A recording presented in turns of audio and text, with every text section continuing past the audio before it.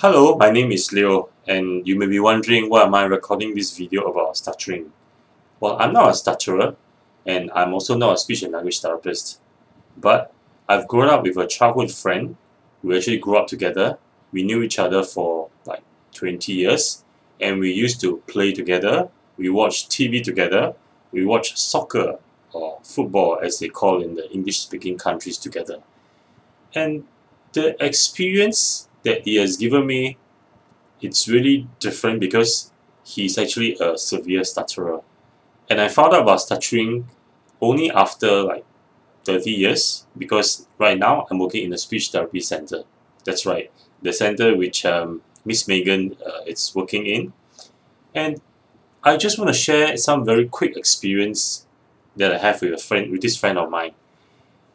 You cannot imagine how different is it when you are stuttering and even the friends, the close friends around you has a high level anxiety. They really want to help you when you stutter and they felt like they're also helpless.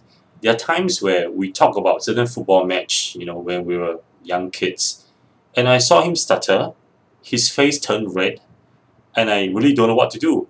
And it's a little difficult for me if we're with other people because I felt he has a lot of things to say, but for that few minutes he had a block, which technically meant he cannot speak anymore, and he just stuttered on those words. Well, I met him like um, 30 years, you know, after that, and true enough, and it's so amazing that he can speak fluently and he has no stutter anymore. And I knew he went for therapy, and that's why I'm doing this video.